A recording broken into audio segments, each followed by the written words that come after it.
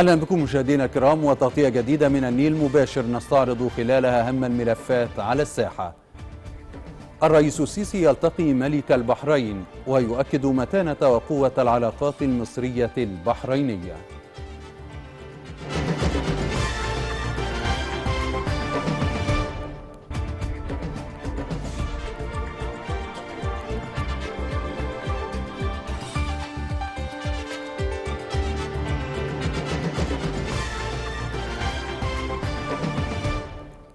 أكد الرئيس عبد الفتاح السيسي متانة وقوة العلاقات المصرية البحرينية وما تتميز به من خصوصية وحرص مصر على تطوير التعاون والتنسيق الثنائي الوثيق لما فيه مصلحة الشعبين الشقيقين والأمة العربية.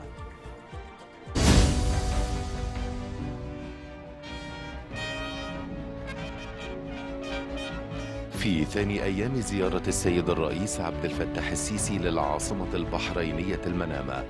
استقبل جلالة الملك حمد بن عيسى آل خليفة ملك المملكة البحرينية السيد الرئيس عبد الفتاح السيسي بقصر الصخير الملكي. المتحدث الرسمي باسم رئاسة الجمهورية صرح بأن السيد الرئيس أكد على اعتزاز مصر بالروابط التاريخية التي تجمع بين البلدين والشعبين الشقيقين. كما أكد السيد الرئيس حرص مصر على الاستمرار في تعزيز التعاون الثنائي مع البحرين في مختلف المجالات وتكثيف وتيرة التنسيق المشترك تجاه التطورات التي تشهدها منطقة الشرق الأوسط وتعزيز وحدة الصف والعمل العربي المشترك في مواجهة مختلف التحديات الإقليمية والدولية.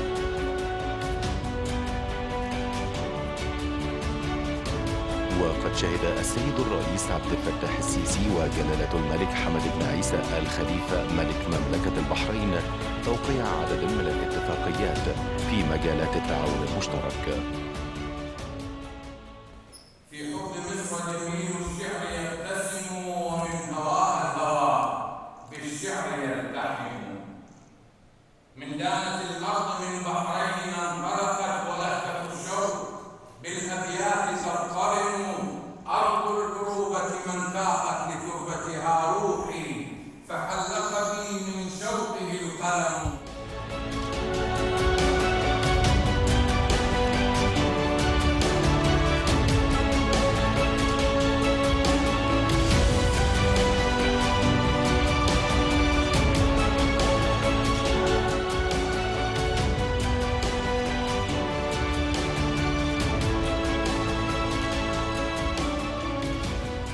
كما عقد السيد الرئيس جلسة مباحثات مع صاحب السمو الملكي سلمان بن حمد آل خليفة ولي العهد نائب القائد الأعلى للقوات المسلحة ورئيس مجلس الوزراء.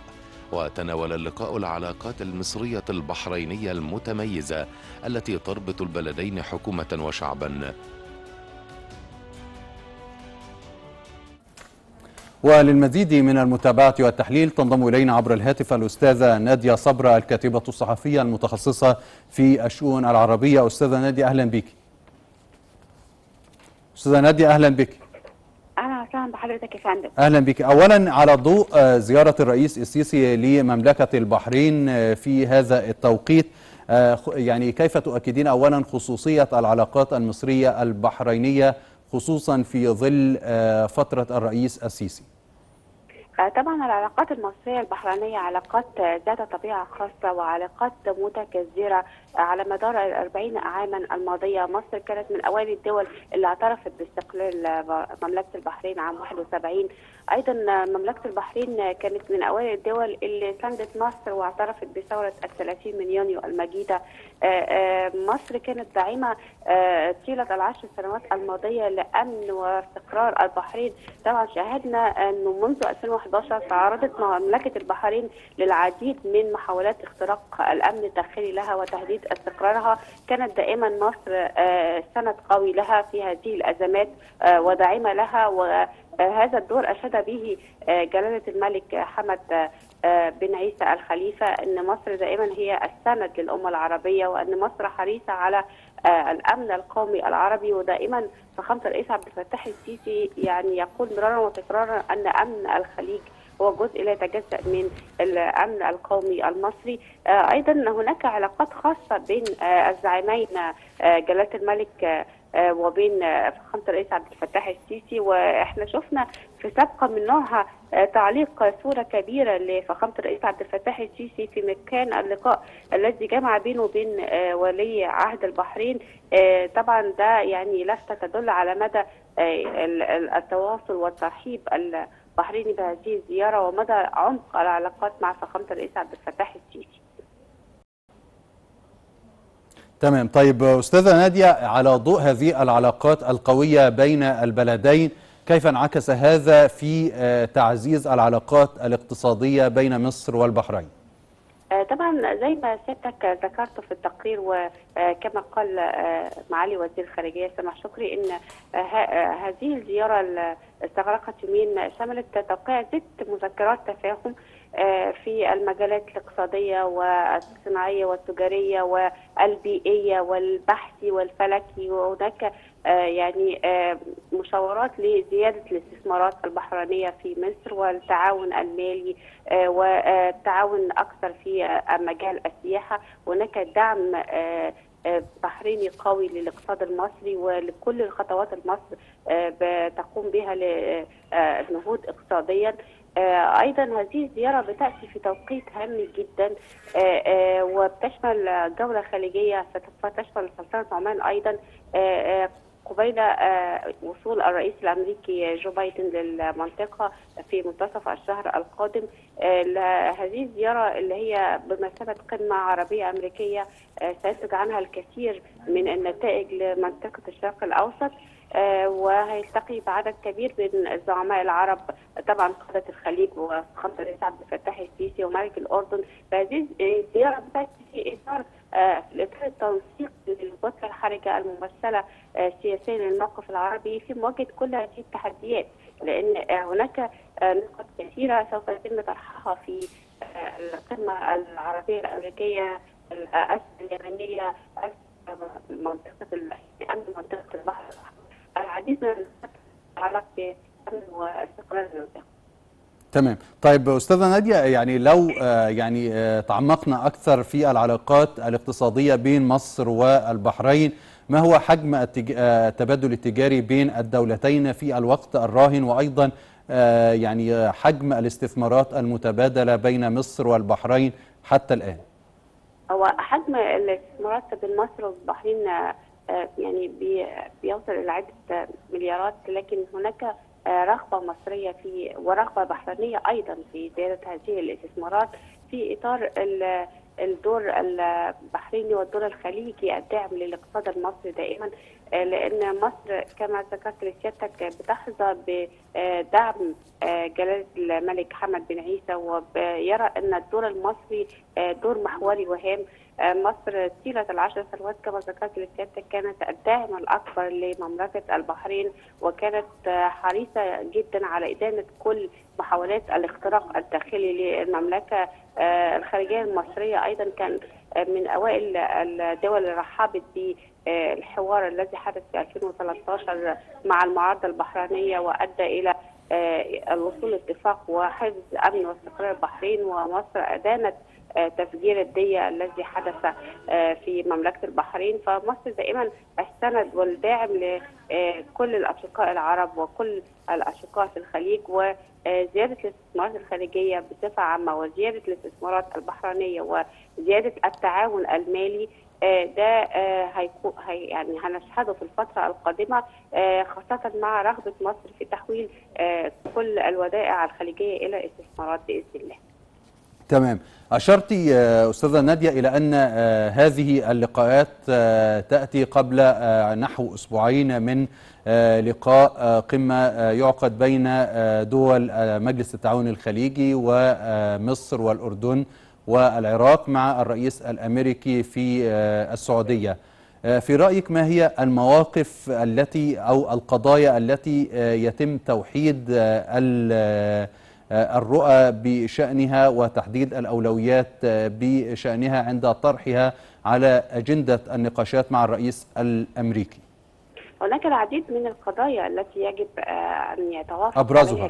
جميع- الزعماء العرب. الأزمة اليمنية هي أبرزها طبعا. آه، آه، أمن البحر الأحمر أمن دول الخليج التهديدات الإيرانية للدول العربية وتدخلها في الشؤون العربية. آه، آه، محاولات آه، يعني آه، وجود آه، أيادي تعبث بالأمن القومي العربي هذه أبرز التحديات التي آه، أرى أنها آه، ستكون على أولوية آه، مائدة المفاوضات مع الرئيس الأمريكي جو بايدن وأتمنى أن آه، يكون هناك حلول جذرية لهذه النقاط وأن يكون الرئيس الأمريكي يعني آه، معه أجندة وعلى آه، جادة في إنهاء آه، الأزمة اليمنية بصفة خاصة. شكرا لحضرتك أستاذة نادية صبرا الكاتبة الصحفية المتخصصة في الشؤون العربية. كنت معنا عبر الهاتف. هذا وقد شارك الرئيس عبد الفتاح السيسي في العاصمة البحرينية المنامة مع جلالة الملك حمد بن عيسى الخليفة ملك البحرين في افتتاح المبنى الجديد في مطار البحرين الدولي. وأوضح المتحدث الرئاسي السفير بسام راضي بأن مشروعات تجديد مطار البحرين ستعزز من دعم البحرين في قطاع خدمات النقل والشحن الجوي والذي توليه الدولتان الشقيقتان أهمية كبيرة في إطار المجالات المتعددة للتعاون الثنائي بينهما.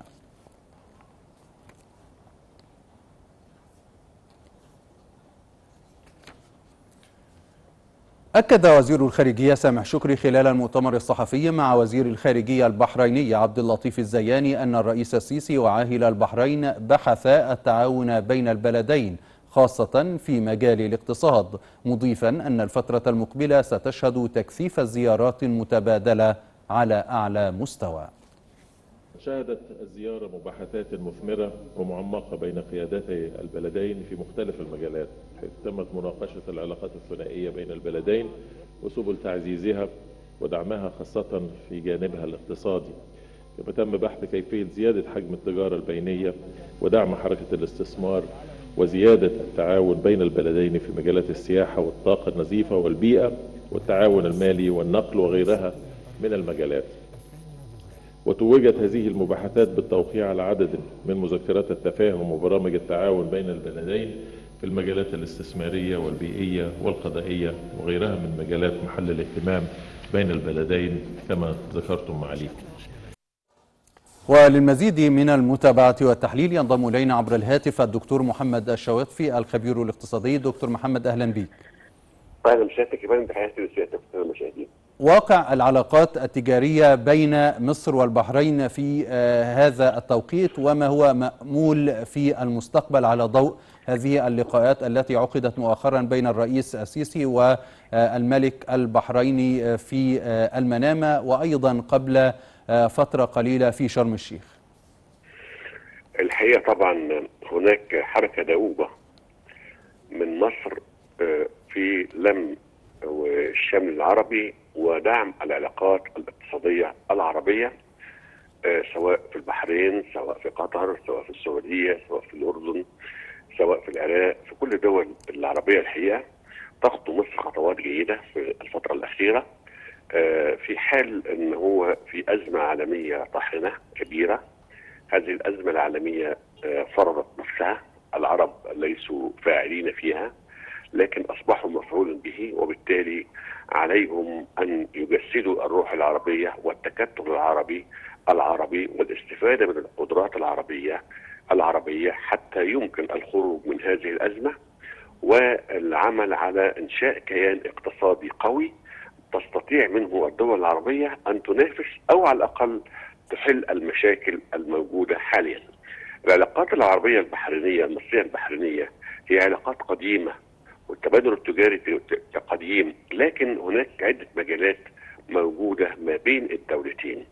أول حاجة هو ما تسعى إليه الدولة المصرية وهو زيادة الاستثمارات العربية العربية في داخل الدولة المصرية للاستفادة من الفرص المواتية الموجودة في الاقتصاد المصري.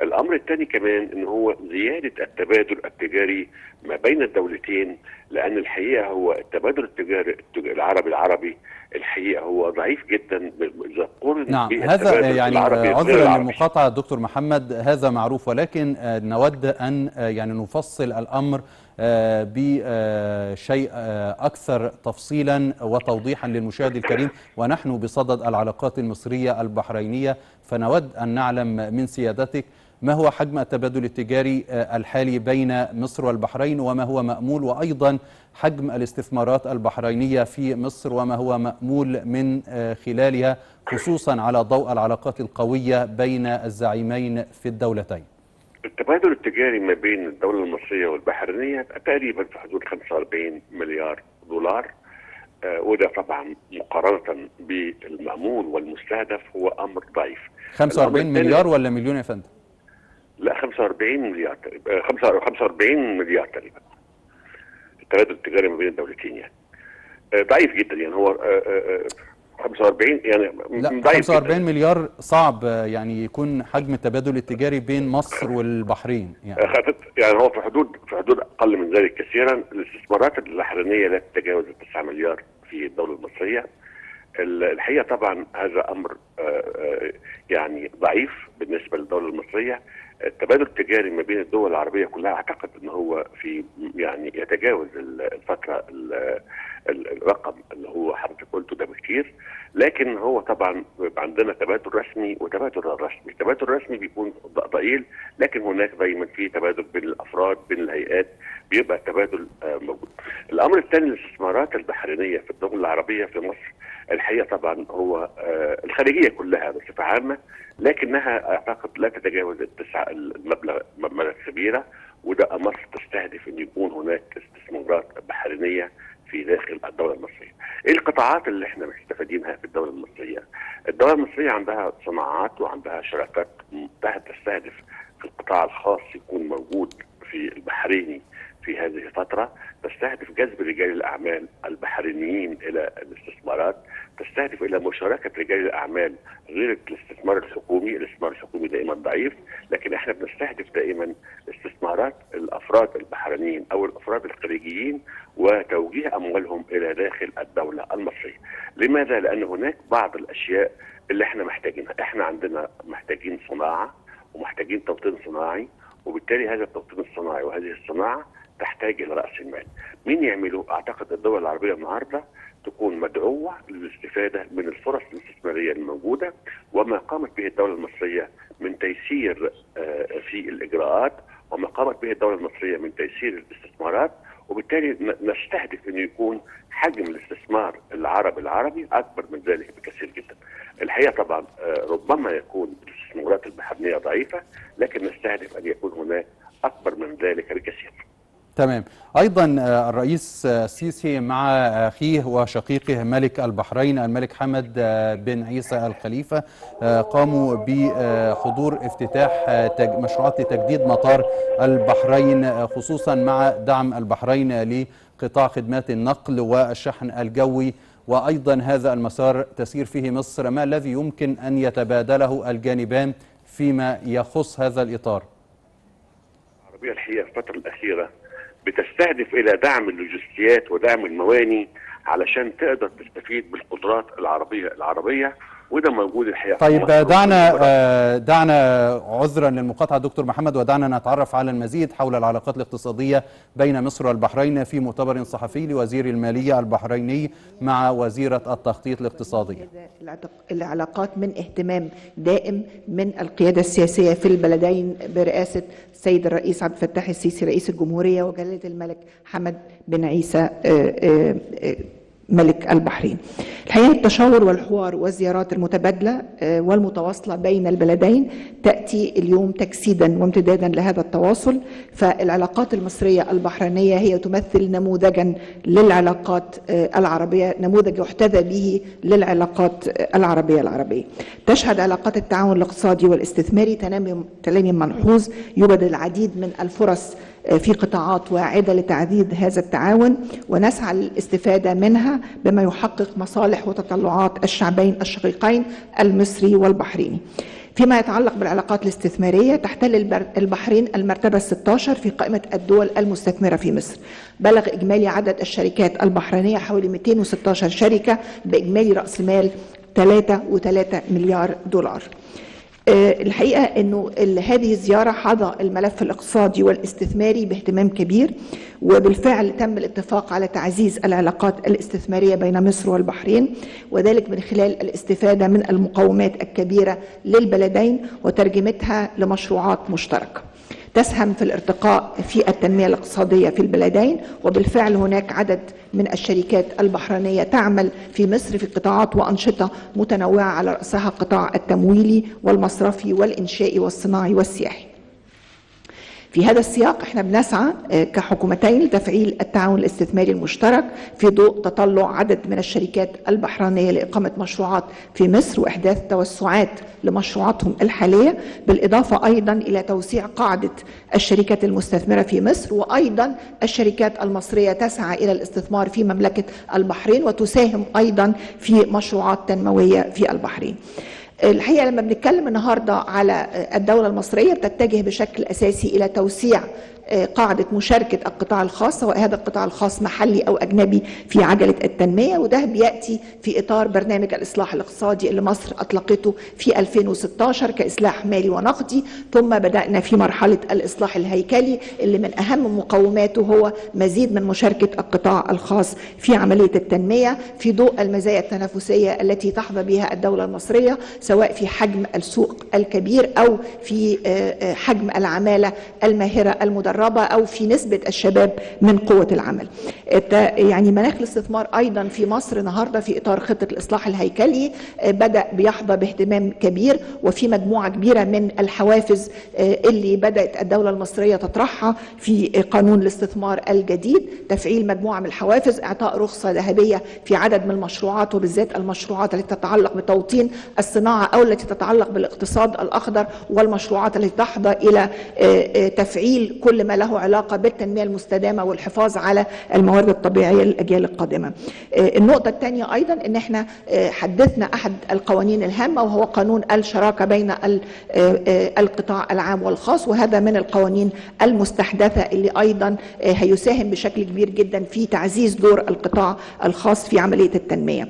من ضمن الأمور أيضا وهي إنشاء صندوق مصر السيادي كذراع استثماري هام للدولة المصرية بما لديه من آليات مرنة وحوافز بتتيح للشراكة مع القطاع الخاص المحلي ومع المؤسسات المحلية والإقليمية لزيادة مشاركتها ولزيادة استثماراتها وإعطاء دفعة قوية لعملية التنمية.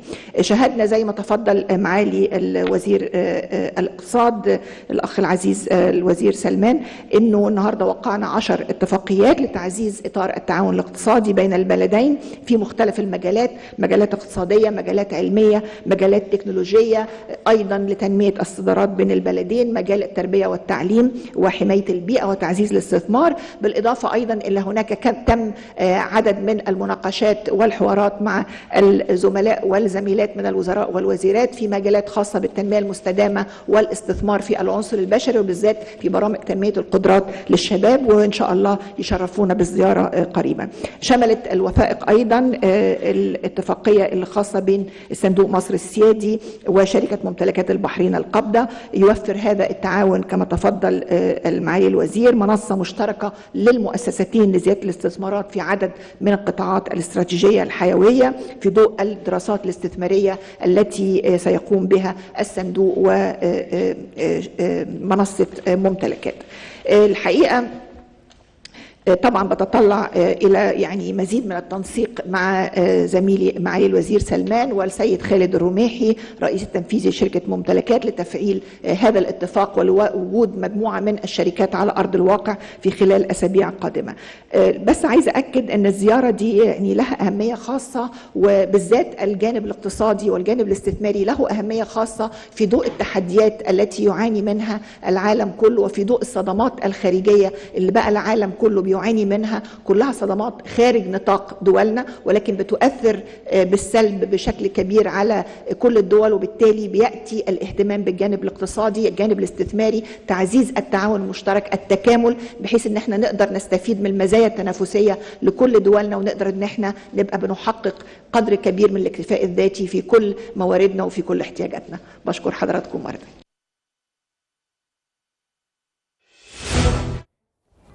تابعنا مشاهدينا الكرام مؤتمرا صحفيا لوزيرة التنمية التخطيط والتنمية الاقتصادية مع وزير الاقتصاد البحريني وأشارت إلى أن الاستثمارات البحرينية في مصر تبلغ ثلاثة مليارات وثلاثمائة مليون دولار وقالت إن هناك أكثر من 200 شركة تستثمر في مصر. أيضا قالت إن البحرين تأتي في المرتبة السادسة عشرة لقائمة الدول المستثمرة في مصر من حيث إجمالي الاستثمارات في مصر. مشاهدينا الكرام للمزيد من التعليق والتحليل حول ما ذكرته وزيرة التخطيط والتنمية الاقتصادية من تعاون بين مصر والبحرين وآفاق هذا التعاون الاقتصادي. نرحب من جديد بالدكتور محمد الشواتفي الخبير الاقتصادي. دكتور محمد أهلا بك من جديد.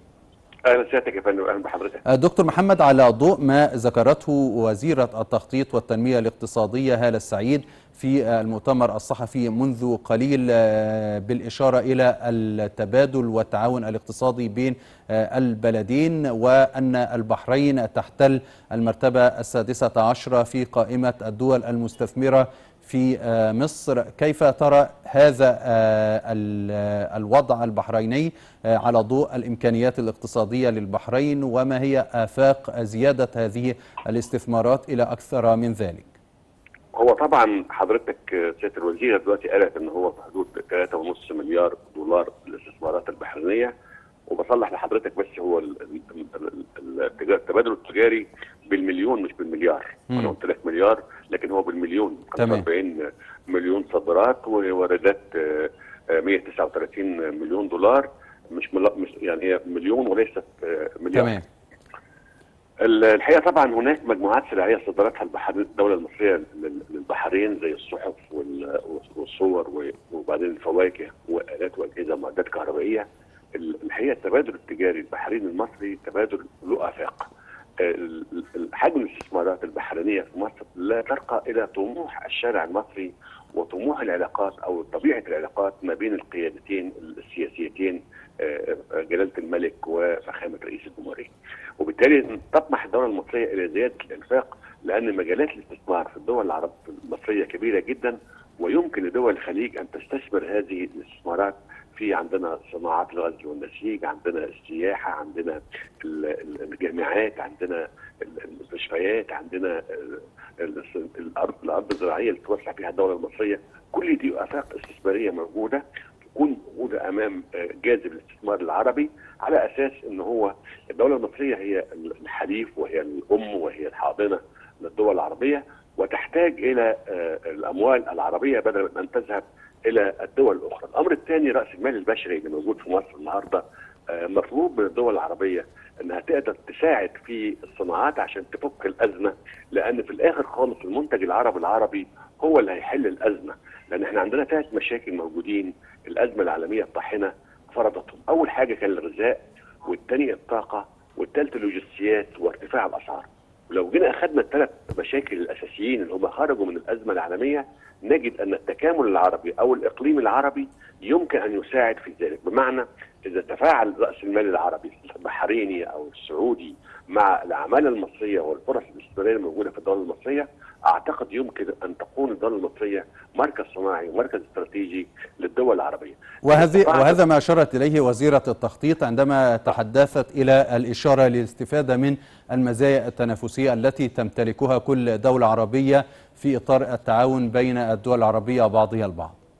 نأمل دائما نأمل دائما أن يكون توجه الاستثمار العربي للدولة المصرية لأن أفضل استثمار وأفضل توجه استثماري في المنطقة هو الدولة المصرية. تمام. نأمل انه يكون رجال الأعمال النهارده الدولة المصرية فتحت الاقتصاد وبقى الاقتصاد النهارده مفتوح رجال الأعمال والمستثمرين الأجانب، لما لا يأتوا إلى إلى دولتنا مصر على أساس إن إحنا عندنا فرص استثمارية وما يزرعونه في مصر سيحصدونه في الدول العربية. على ضوء هذه ما- الفرص الاستثمارية دكتور محمد أيضا أشارت وزيرة التخطيط إلى آه، الدور المنتظر أن يقوم به كل من صندوق مصر السيادي وأيضا آه، صندوق آه، ممتلكات الاستثماري البحريني في. تبادل الاستثمارات بين البلدين. في رأيك ما الذي يمكن أن يقوم به الصند- الصندوقان في دعم الاستثمارات المتبادلة في الدولتين؟ الاستثماري أو الثورة السياديه في مصر هي عبارة عن طاقات غير مستغلة في الدولة المصرية، وهذه الطاقات غير المستغلة تحتاج إلى أموال حتى يمكن استغلالها وتشغيلها، لأن الأزمة في مصر هي أزمة تشغيل اقتصاد، وتشغيل الاقتصاد يحتاج إلى رأس مال ويحتاج إلى خبراء، وفي هذه الحالة يمكن هنا التعامل ما بين الصندوق السيادي المصري وصندوق ال- ال- التنمية في البحرين إنهم يفتحوا مجالات آه، استثمارية، إحنا المجالات الاستثمارية في الزراعة عندنا مجالات كبيرة وفي السياحة وفي الصناعة، في كل المجالات أعتقد إن إحنا النهارده الدولة المصرية مهيئة لأن يأتي إليها، إحنا ما بنقصرش على البحرين، صحيح النهارده الوزيرة في البحرين وبنتكلم على البحرين، لكن بنتكلم على رأس المال العربي، كيف نجذب رأس المال العربي إلى الدولة المصرية وهو مهيئ لذلك. تمام. طيب دكتور محمد أيضا كما أشارت وزيرة التخطيط إلى أن غالب الاستثمارات البحرينية في مصر ترتكز على مجالات الخدمات كالخدمات المالية والمصرفية وغيرها. في رأيك ما هي آفاق أو الفرص خصوصا أن الدولة أو الحكومة تتحدث عن أن هناك فرص است- استثمارية في مشروعات وقطاعات إنتاجية هل من الممكن أن نشهد زيادة في الاستثمارات الخاصة بالقطاعات الإنتاجية خصوصا هذا ما يحتاج إليه العالم العربي ومصر تحديدا في الوقت الراهن وعلى ضوء الأزمات العالمية الموجودة حاليا؟ الحقيقة ده الحقيقة ده طبعا آه، آه، يعني هو في الخدمات نعم نحن نريد خدمات وأن يكون الاستثمار الخليجي في الخدمات وده أمر محمود لكن هناك مجالات أخرى نحن نحتاج بها أكثر لزيادة آه، لزيادة تأثيرها في معدلات النمو الاقتصادي. وهي المجالات الصناعية والمجالات التخليقية ومجالات الإنتاج. ليه؟ لأن الاقتصاد المصري النهارده بيتحول إلى اقتصاد إنتاجي يقدر يقدم خدمات يقدر يقدم سلع. وبالتالي في هذه الحالة المستثمر العربي لو جه النهارده استثمر عندنا في مصر في مجال الإنتاج زي الحديد والصلب زي الغزل والنسيج زي الفواكه زي الزراعة. كل دي بتعود على المستثمر الأجنبي المستثمر العربي وبتعود على المواطن العربي. إحنا الدولة المصرية النهارده بتأمل من اخوات من أخو من إخواتنا العرب أن استثماراتهم تتوجه إلى مجال الإنتاج ومجال التخليق ومجال نعم. المعرفة بحيث تقدر تتحول الاقتصاد لأن مصر النهارده بتحول اقتصادها إلى اقتصاد قيمة مضافه واقتصاد تخليق واقتصاد إنتاج. وبالتالي هنا هذا ما, يضعونه من أموال في داخل الدولة المصرية سيعود عليهم في الدول الخارجيه وهو لو لما عندما يستثمرون في مصر من خلال الإنتاج أفضل كثيرا جدا من دول أخرى. لكن هو طبعا الدولة المصرية هيأت الاستثمار وأصبح عندها النهارده فرص وعندها قوانين وعندها تشجيع وعندها بنية تحتية تكنولوجية قوية جدا وعندها بنوك ومصارف وعندها بتساعدهم في تحويلات ال- الأموال من إلى من مصر إلى خارج مصر وبتساعدهم في كل ده وأصبحت عندها قوانين حرة في العمل وغيره. كل ده بيقول لنا إن الدول العربية النهارده بنناشدهم إنهم رجال الأعمال العرب عشان أقول مثلا مش لا يكون الحكومة فقط. نطالب رجال الأعمال العرب والمستثمرين العرب أن يأتوا إلى الدول الدولة المصرية ليستفيدوا من المناخ الاقتصادي الذي عملته مصر ويستفيدوا من الفرص اللي موجودة لأن الاقتصاد المصري متنوع، الاقتصاد المصري ليس مجال واحد، الاقتصاد نعم دولة وصلت كبيرة نعم. وصلت كبيرة شكرا لك. كل المجالات دي. نعم. شكرا لك دكتور محمد الشواتفي الخبير الاقتصادي كنت معنا عبر الهاتف.